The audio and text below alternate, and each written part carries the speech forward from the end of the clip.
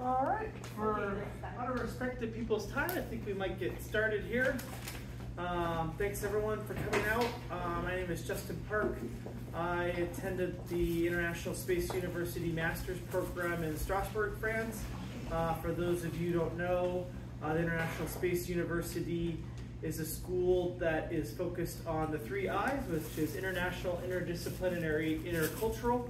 Uh, they have these wonderful uh, intercultural nights where people get to get up and talk about their countries and you learn a lot about the rest of the world. Uh, they have a summer session program that moves around the country every year. This year it was down in Houston, Texas at Rice University. Uh, it was a lot of fun. I actually got a chance to go down for the alumni weekend uh, where they took us over to Space Center Houston and they had a big panel with all of the lunar landing companies and uh, one of the managers of on the CLPS program. And so, yeah, I highly recommend uh, checking out the International Space University. They have scholarships available. Uh, really helps plug you into the space community if you're looking to work in this uh, industry. So tonight, um, I, i am talking. Uh, you know, like most of you probably read my bio. Um, ISU really was the thing that plugged me into the space community. Uh, I found the Space Generation Advisory Council. Um, um, I got my foot in the door. I did my uh, internship at the NASA Ames Research Center uh, back when Pete Worden was still there. Um, been doing, yeah, uh, a lot in the space industry since that time. I've spoke at uh, Satellite, uh, the conference that's in DC every year. I spoke there a couple of times. And when I was at a new space conference in Seattle, Washington, there was a, a speaker slash sponsor there, uh, Pablo, um, Pablo Moncada. He, uh, yeah, created MoonDAO, and MoonDAO uh, is a Web3 organization. Uh, Web3 is, so Web 1 was just static, um, you know, HTML, the very early infancy of the internet, um, you know, basic graphics and things like that. Web 2 was more like Facebook and MySpace, uh, where the websites present content that people create, where you upload images and you upload content where, yeah, Web 1 was just a page. Web 2 is where people are starting to contribute.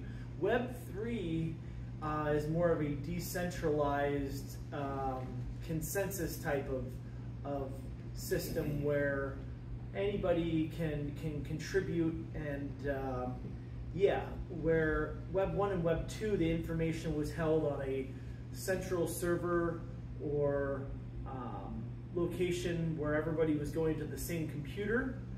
Uh, Web 3, the information is spread out over lots and lots of computers. It's decentralized. It's um, uses uh, peer-to-peer -peer file sharing mechanism where everybody kind of uh, is, is, sharing the information in a consensus building way that makes it uh, much harder to compromise. Uh, in order to compromise a Web3 you know, database, because they don't have databases in Web3, or at least not in the traditional sense. Uh, with, with Web3, the information spread out over lots and lots of different uh, nodes, is what you call them. And so, yeah, one of the useful things uh, that emerged out of this Web3 was um, the blockchain, where people keep track of transactions uh, between addresses, and you can have something like Bitcoin or one of the other thousands of other tokens where you can keep track of that public ledger of, of who has, which address has how many tokens. Um, I did talk about the blockchain at one of these events uh, maybe five years ago uh, when Angela used to run the events. And so, yeah, I uh, talked, I won't go too much into the blockchain and um, mining and things like that. It's a uh, interesting area of computer science and it's uh, getting better. There's smart contracts or something that have emerged over the years uh, smart contracts are um, a, a, a, protocol, a list of procedures that people all kind of agree upon. and that way you can create mechanisms for conducting voting. Um, you can create multi-signature contracts so that in order for some person over here to get paid, you have to have at least five of the seven signatures, you know, sign that contract before the funds get released. Um, and then, the, yeah, the voting mechanism is very important. It's been very important to Moondao because we uh, put uh, different proposals up on uh, Snapshot is the name of the service that we use, but there are other voting platforms where, yeah, the number of tokens that you hold allows you to have more influence on the vote. It's kind of like a cross between being a shareholder and being a voter for a political race. And we do actually have um, political races within Moondao. We just voted on our uh, second uh, president of the organization. Uh, Pablo's been running it for many years by himself, and he wanted a second executive, and so we just voted on our second uh, president, and so Ryan is now helping Pablo on a day-to-day basis, and yeah, we uh, were able to raise uh, about eight million dollars with our initial coin offering.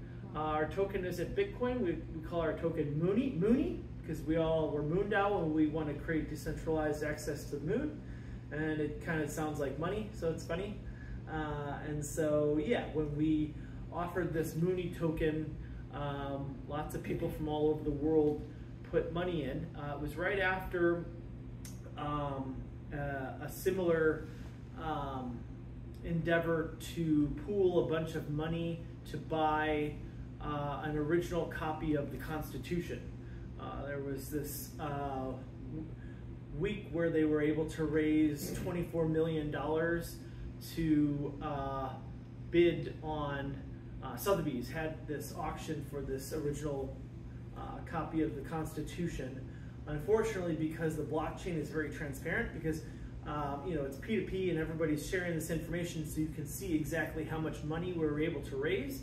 And so someone kind of came over and was like, "I'll bid 24 million and one," right? And they basically outbid the entire community, uh, which was kind of sad, but it did show that we could raise a whole lot of money very quickly through uh, crowdfunding campaign.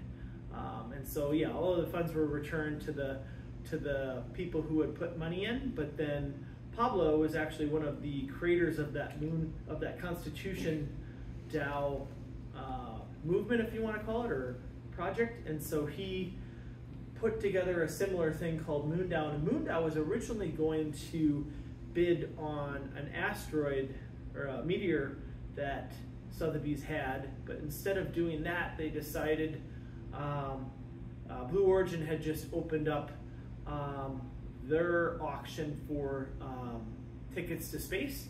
I don't know if you guys remember originally, um, they opened it up to the public, uh, a ticket to go with Jeff Bezos and his brother into space, and that ticket actually went for like $28 million. Um, some guy from the Netherlands, uh, I think, won it. And so, yeah, but Blue Origin had additional tickets become available. And so we uh, bought two of those tickets. Um, Moondao is not uh, legally, I think, allowed to disclose how much we paid. It's kind of like a non-disclosure that the organization signed with Blue Origin.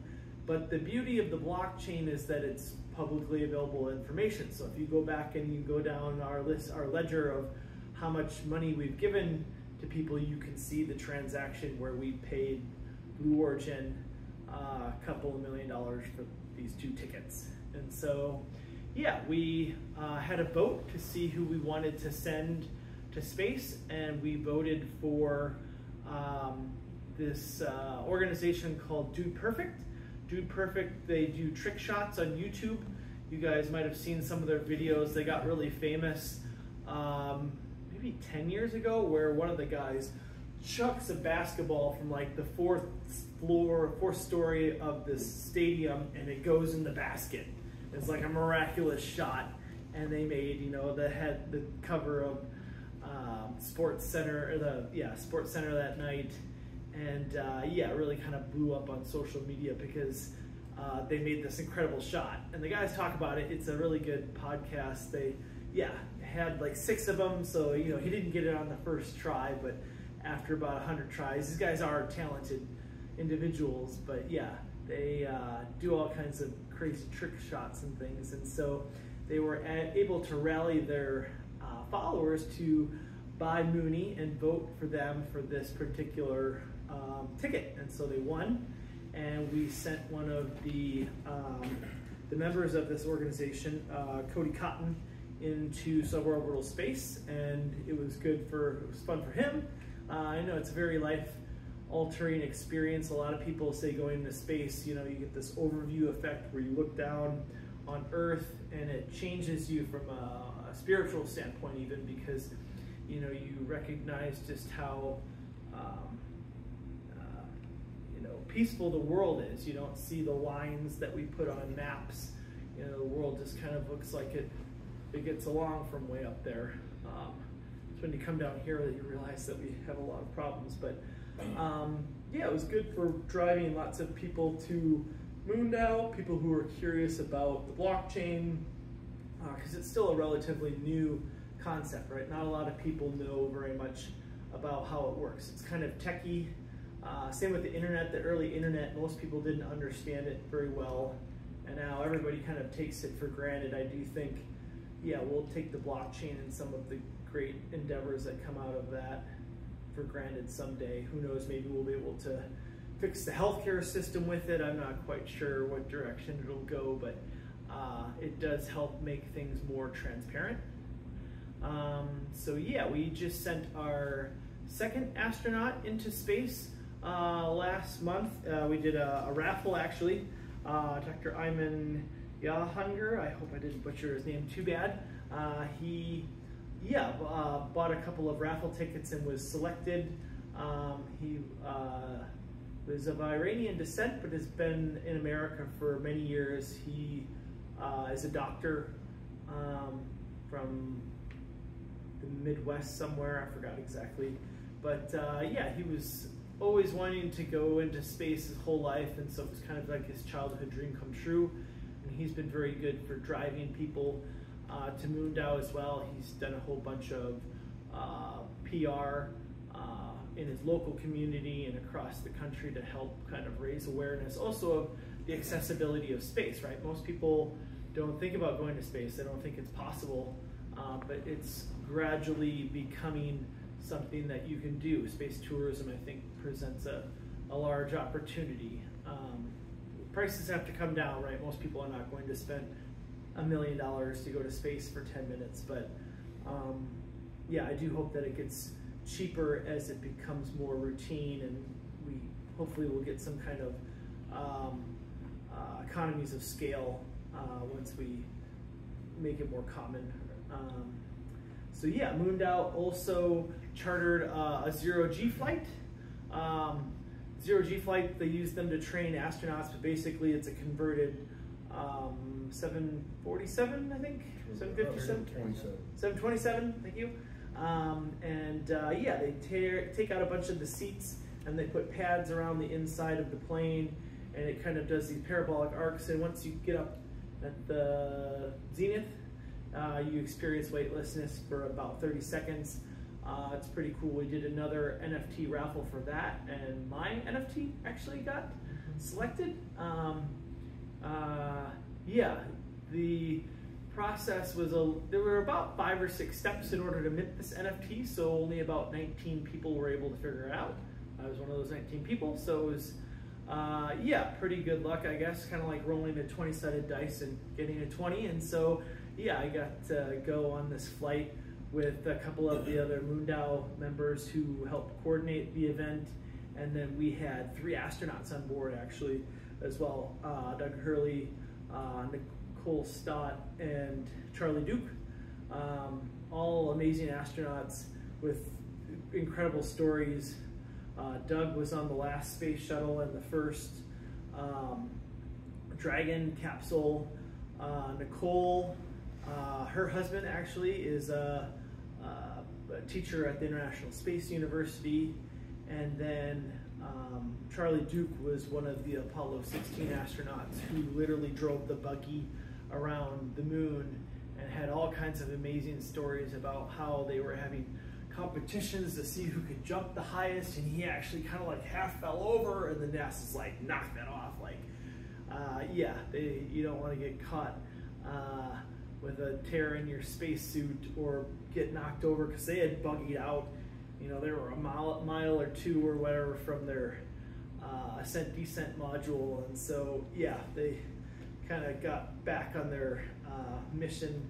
You know everything was very well um, laid out for what they were supposed to do on the lunar surface. And having jumping competitions was not something that the engineers uh, had planned. So um, yeah, we've uh, done a couple of other interesting things uh, with the with the eight million dollars.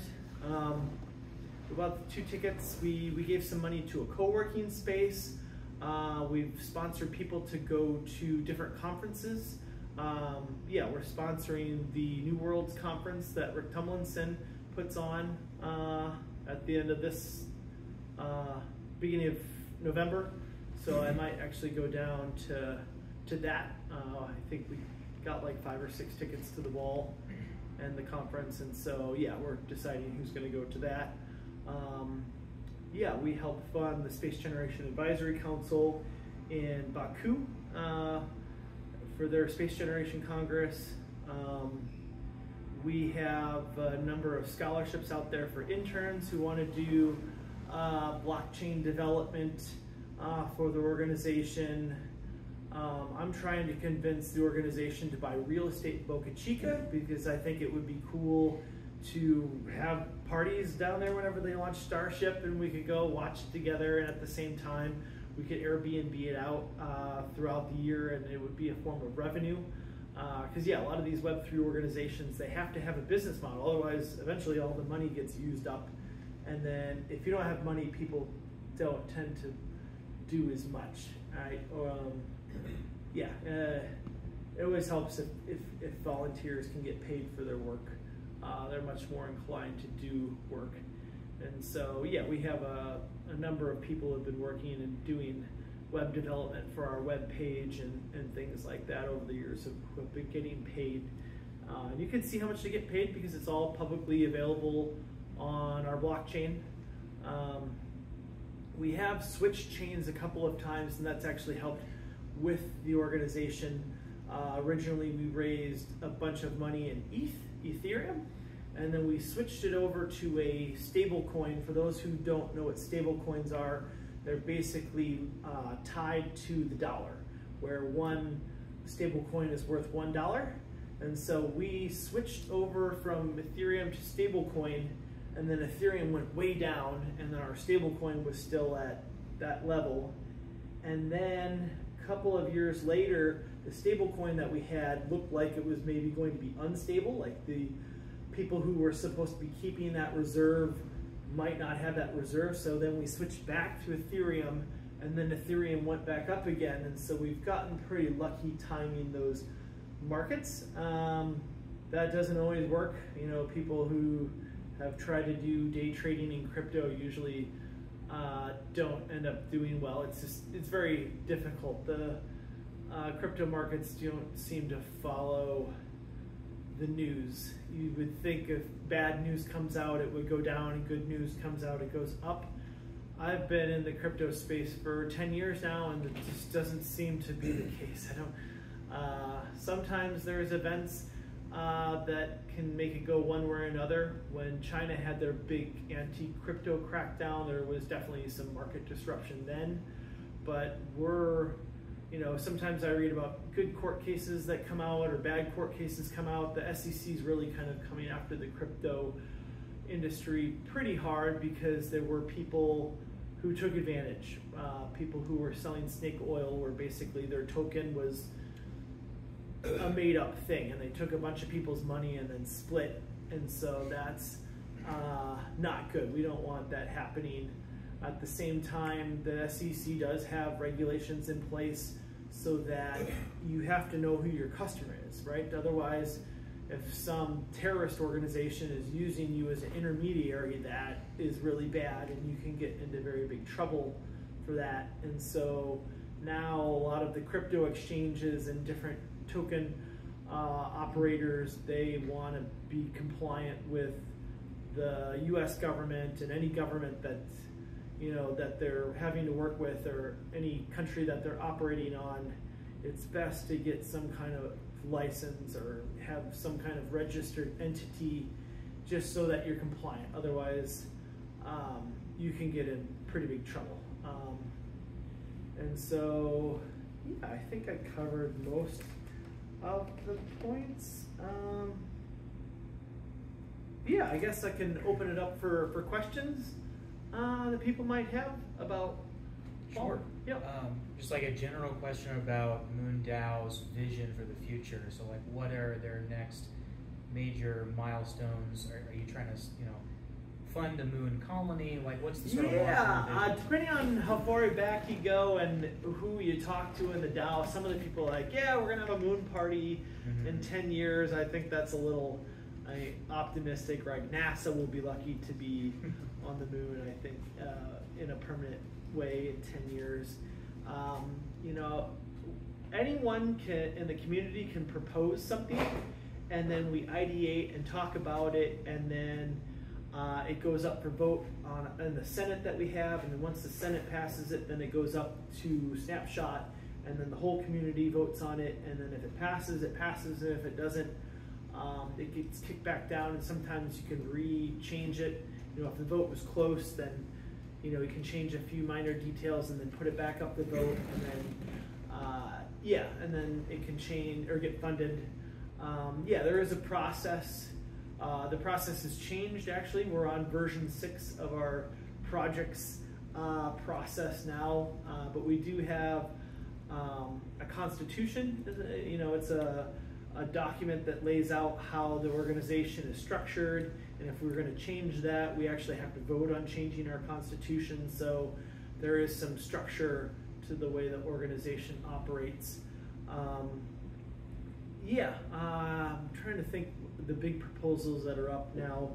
Uh, the most recent one was funding New Space or New Worlds. Um, I think we're gonna give them a couple thousand dollars and they give us a couple. You know, we're trying to build relationships with uh, as many space organizations as we can. And we Pablo did release like a list of all the companies that we've worked with over the years. Uh, we have these town hall meetings where we have someone from industry come and talk, similar to the ISU Space Cafes. But yeah, we'll get I don't know Peter Beck or someone you know from the space industry who come and talk and um, yeah, we are working with an org. Ah, one of the big ones I forgot was uh, an organization that is sending a payload to the moon.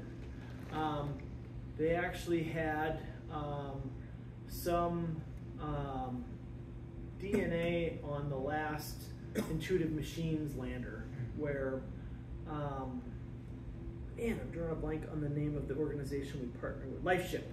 And LifeShip is, yeah, going to be sending additional little micro uh, nano payloads, you almost want to call them, because they're so, they're only a few grams.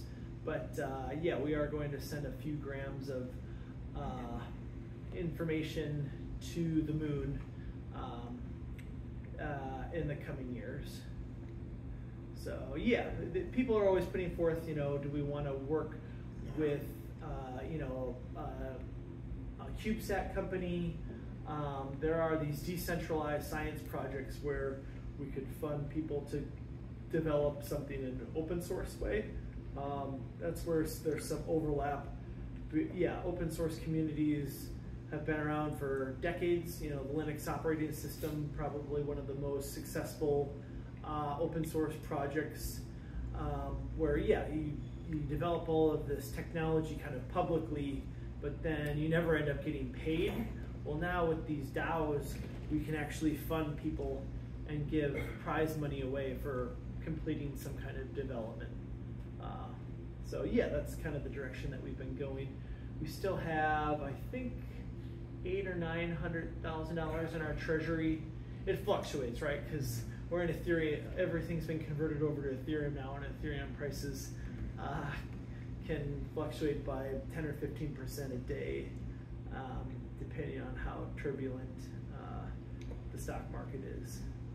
I do find that the, the more the stock market goes up and down, the more the crypto markets also go up and down. I think the correlation is because you have these um, um, stock um, structures. Um, another three-letter acronym I'm drawing a blank on right now. Um, The volatility indexes. VIX. yeah, the indexes. Um, uh, yeah, the and um, and so yeah, those can affect the the crypto markets as well. Um, other questions? Did I answer your question? Yeah, yeah. Yeah. thanks. So were you going to talk about International Space University some? Maybe you could talk about. Oh, yeah, I can talk about ISU Like maybe about what your, what it's like to kind of go to school in France at the facility, and maybe you could talk Yeah, sure thing. Uh, yeah, it's not Moondao related, but uh, I did have a really good experience when I went to ISU. I had never lived out, I had never traveled outside of the United States. I went to Canada when I was 19, but I had never been to Europe or anything like that. And so, yeah, I got my student visa to go study in Strasbourg, France for a year. Uh, really good experience. Uh, I had three uh, roommates, and they all went to ISU. One of them was French, which helped out a lot. He found a really awesome apartment in downtown Strasbourg, uh, right across. You know, I could look out and see this cathedral that's uh, hundreds of years old. It was actually the tallest building in the world for like 150 years before the Eiffel Tower was created. Uh, yeah, it was pretty cool. Although the bells would ring all day on Sunday, but that's yeah, uh, price you pay, I guess. Um, yeah, living in France was interesting. All of our courses were in English, but they did offer a French course for those who wanted to try and learn a little bit of the language. My uh, French is pretty uh, merde, you know, it's not very good. Uh, but I did uh, pick up a little bit of French when I was there. Uh, we had, I think, about 43 students in our master's course. Uh, very diverse class. I think there was five Americans. Uh, we had six or seven Canadians. Um, but then, you know, three French. We had um, one Chinese, one Japanese, uh, two from India, one from Indonesia, uh, a couple from the Czech Republic, really all over the place, one from Turkey. And so, yeah, a really uh, good benefit of that is that whenever I travel abroad, I can usually, I know someone in that country and I can go call them up and, uh, you know, hang out with them and uh, figure out what they're doing because a lot of them are still working in the space industry. Getting into ISU is not the easiest thing in the world. It's um, yeah, it's a master's program, so you do have to have a bachelor's, and they're pretty particular. Uh, I would say um, not the majority, but maybe like 40% do have an aerospace engineering background, so you get a lot of really sharp people in the program, but they do try and get people from different disciplines. I had had a computer science background, and so I had some engineering, right? I took Calc 3 in undergrad, but um, yeah, some people have law backgrounds, some people, we had a doctor um, from Argentina, I want to say he's from, who was in our class. Um, yeah, just a very diverse group. Uh, at the time, uh, Dr. Nikolai Tolyarenko was running the master's program, and he was actually from Russia. And he still had his contacts. He worked on the Soviet lunar program. And so our class got to take a field trip to Moscow and see the uh, cosmonaut training facilities in Star City. Uh, very cool. This was back in 2008, so the you know the political times were much better then. And so yeah, our class got to go hang out on downtown Moscow for a week and uh, got a trip of Energia and uh, some of the universities, and it was a really uh, pretty outstanding experience. Uh, we did other field trips to DLR, the German Space Agency. We got to go up to ESTEC in the Netherlands and see their um, uh, ISS um, communication center. Uh, we saw Ariane Space outside of Paris. We yeah got to see where they were assembling this big Ariane five rocket, uh, which was pretty cool. Um, yeah, I really it was a life changing experience. Um, yeah, there's probably all I could talk about ISU for a long time, but that kind of those were the the highlights. So I was wondering, how do you become a, like a MoonDAO advocate? Do you have to like pay for it, or I can Um, you can join the Discord channel. That's where the mass majority of the communications goes on. Um, if you want to participate in the voting on the proposals, then you have to uh, purchase the Mooney token. Um, otherwise, if you do like a project, like I was saying, there's funding out there for these decentralized projects. You can actually earn your Mooney as well. Um, yeah, I've earned a little bit of Mooney over the years uh, for doing various things for the organization. Uh, but they, yeah, encourage people to. There's a couple steps. Pablo is always trying to make the process of rolling people on easier. You know, it'd be ideal if it was just like two clicks, but there are a couple of steps involved which uh, can turn off people who are not techie or just uh, don't have the patience to follow three or four instructions. Um, but yeah, you can join the Discord channel for free.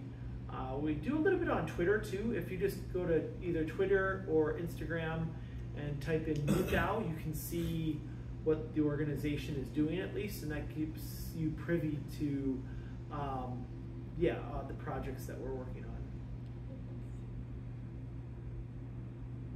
Did you become member? How many women? Hmm? How many women are advocates in MoonDAO? There's a couple. So when I went on the zero G flight, I won the NFT raffle, but we also voted uh, on two other people who would get to go, and we um, two women won those. They were like um, influencers. One's got kind of a pretty big following on uh, Instagram, and the other one's got a following, I think maybe also on Instagram. Uh, Instagram's pretty popular right now. Um, so, yeah. Um, there's uh, Coffee Crusher is her handle. Uh, she uh, is pretty regular on our Senate meetings. Um, yeah, for a while we didn't have so many, and I did complain about not having diverse diversity in our gender, but we've, we've got a couple uh, women that are pretty active now in the community, which is which is good. We want diversity. But like, what's the percentage versus men versus women? Um, probably 15%, 15, 20. Fifteen. It's not great, right? And that's uh, a, a systemic problem throughout the aerospace industry. I actually published a paper five years, five or six years ago for the International Astronautical Congress, talking about the lack of women in our industry and how I, how my company was trying to improve that by encouraging more minorities and, and women to get into the STEM fields and, and into aerospace in particular. Um, I think it's getting better. I mean, because if you go back to the Apollo era, there weren't hardly any, right? It was uh, there were zero uh, astronaut women. Well, they had a cohort, but you know they were silent. None of them got to fly. I was trying to find that woman. But maybe she closed her Instagram. All right. Well, thanks everybody for. So one more question, Yeah, just sure. about how you see. So, so I'm interested in like blockchain as a governance model, right? You've you've had some experience using blockchain to make distributed decisions in a community, and I'm interested because in, in part of my work, I'm looking for maybe disruptions in like governance models used in space and how that might impact how we do voting on Earth. Do you think there's a chance like is this a fairly niche thing that you're doing with with voting and blockchains in like a small community or do you see like in the blockchain community people kind of using that as like we could scale this and like do something here in Arlington County and vote via blockchain like in civil governments on Earth? Like, do you think there's a Yeah, there's I think so. Uh, we're trying to find a good way of digitizing voting, right? Because people don't trust the voting machines very well. Uh, a lot of people are looking at blockchain as a way of verification of identity. Uh, there's a number of uh, companies and open source projects that want to use blockchain as a way of verifying a person. And that way you can also kind of keep your own credentials and, and take them with you. Um, and so, yeah, that's a very common theme uh, about building trust, you know, um, on the blockchain. Um, yeah, the, uh, some of the things I feel like we're, you know, we're, have, we've been doing as a society for hundreds of years. You know, we come up with this thing, oh, it's new, and it's like, no, it's not really that new. We've been doing this for hundreds of years. We just digitized it. Um, but yeah, I do think that um, there's going to be more and more overlap between this digital world and the real world too, because um, you can't just have people creating a bunch of accounts online as well. You know, uh, when we do our votes, uh, we use quadratic voting. Uh, quadratic voting is where you kind of curve the people that have a lot of tokens. Otherwise, say a person had 9 million Mooney, and there's a bunch of people that have 100,000. All of those people with 100,000 could vote for no, and then the one person with 9 million could vote yes, and then just wipe out, out you know, all the voting of the, all the other people. So we use quadratic voting to kind of um, curtail that. So the person that has 9 million gets rounded down to maybe, you know, a couple million, and the people that only have 100,000 get a little more power. Um, the issue with that is you need to make sure that when people create accounts, that they're real accounts, right? You don't have some bot account that created a thousand accounts with little amounts, because then they would have a huge amount of power. So we are we have implemented this thing called a Git coin passport where you have to link your uh, Mooney wallet to some kind of social media account. Uh, that helps us verify and get rid of bad actors.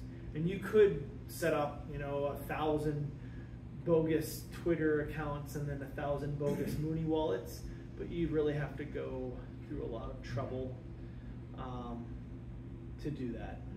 Um, it wouldn't be impossible, but uh, you're always going to have bad actors on the internet as well.